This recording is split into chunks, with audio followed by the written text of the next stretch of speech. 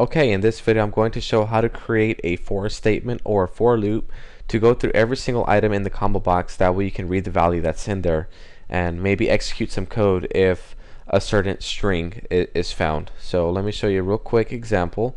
Go to insert and I'm going to select an ActiveX control, the command button and I'll just call this search. And like in a previous example, you could use an input box to ask the user what item do you want to search for. In this case, I'm just going to show you how to create a for loop. And if the text is test3, then to then to show another message box. So check this out.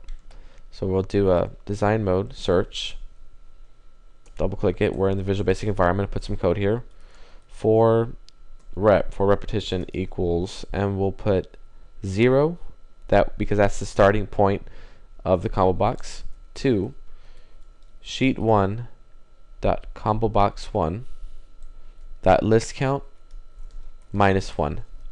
And the only reason why we're putting in the minus one is to account for the the starting index as being zero.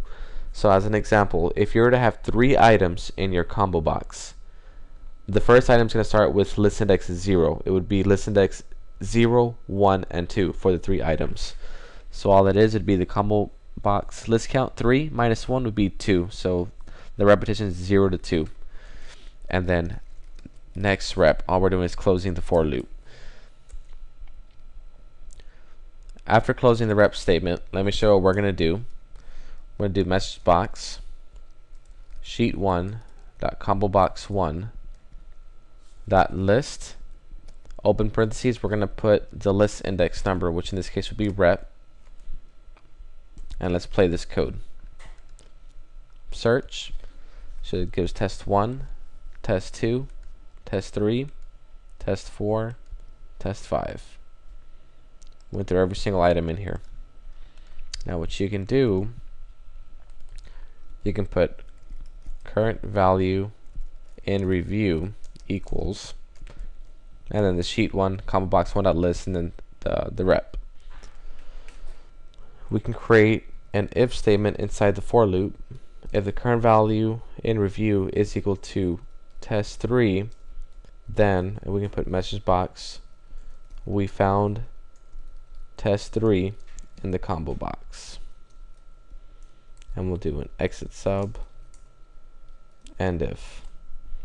All this right here is our if statement. So while it's going through the combo box, if test 3 is found, we're going to do it's going to display this message, we found test 3 in the combo box, and then it's going to actually exit the entire function. It won't continue with the for loop. Let's try this out.